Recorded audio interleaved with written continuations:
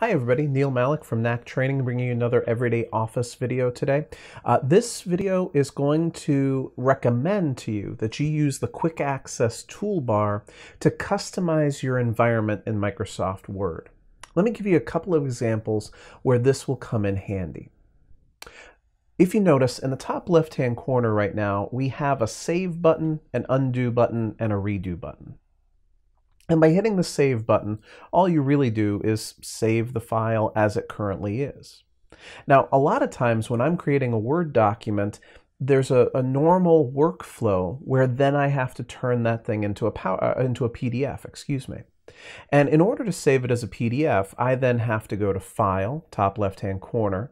I have to go down to Save As. Then I have to choose the file type or I have to go to export and create a PDF document this way. One way or another, it's going to take me several clicks to be able to get to this choice of being able to create a PDF file. So if I go to my quick access toolbar up here in the top left hand corner and I go down to where it says more commands, what I can do in more commands is, as you can see over here on the right, this is what my quick access toolbar currently has. But over here on the left, I can use the drop-down menu and say, you know, I went into the File tab previously in order to save this thing as a PDF. Let me go into the File tab now and see if I can find the command for saving something as a PDF. So I'll go to a uh, File tab right there, and there is this option here for Publish there it is, as a PDF or an XPS file. So I find this publish as PDF file. I click add here in the middle and click OK. And now not only is there a button immediately at the top of my screen for being able to publish this to a PDF file that I can press, but I, there's also the ability for me to press the Alt key on the keyboard. Notice that when I press the Alt key on the keyboard, Microsoft Word jumps in and assigns not only letters to the different tabs that are at the top of the screen, but numbers to each of the different items that are on the Quick Access toolbar. And so immediately, after adding Publish as a PDF to my Quick Access toolbar, I could use the keyboard shortcut Alt-5 to get there as quick as possible.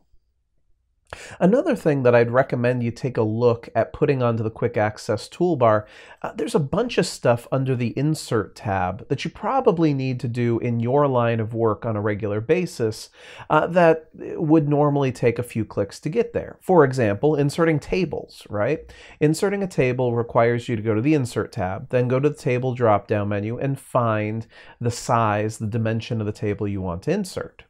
Now, because I can actually see this, I can right click directly onto the entry for table here and choose to add that immediately to the quick access toolbar. As you can see, that little insert table button goes right there. I can hit the drop down menu on that right there now, but I can also again use Alt 6 and immediately choose the size of the table that I want to add. Now, lastly, I'd recommend that you take a look at using quick parts. Specifically, under quick parts, there's this option called auto text, and effectively you can select anything at all and save it as auto text in Microsoft Word. Let me give you an example here. I'll just go ahead and say that this paragraph right here, this little snippet of text, is a really important chunk of text in my business that we are constantly adding this chunk of text. Maybe it's a disclaimer, maybe it's a description of some kind. And so I always have to retype it or I have to copy and paste it from someplace else.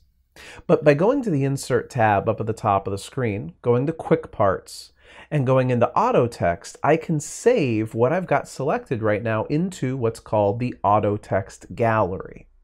And that simply allows me, so this will be um, interesting snippet, right? So you'd give it a good name here. Click OK. Now, at any point that I need to insert that little chunk of text, I can simply go to my Insert tab, go to the Quick Parts drop-down menu, go to Auto Text, and I can add that interesting snippet by choosing that option, which is nice, don't get me wrong.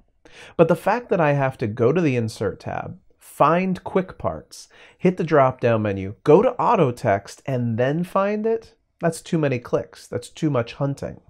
So instead, I'm just going to right-click right on Auto Text, hit Add it to the Quick Access toolbar, And notice right there, now my auto text options are available at one click, or as we saw earlier, Alt and now 7. And just like that, I can add these little chunks of content simply by hitting enter, and there's my new disclaimer added to the document quickly and easily. The quick access toolbar is far too underutilized by people in the real world these days.